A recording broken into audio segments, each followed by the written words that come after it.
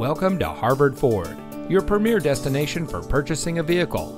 And here's a look at another one of our great vehicles in inventory and comes equipped with electronic stability control, steering wheel controls, rear view camera, keyless entry, tire pressure monitoring system, leather wrapped steering wheel, Sirius XM satellite radio, rear spoiler, parking sensors, roof rack, and has less than 35,000 miles on the odometer.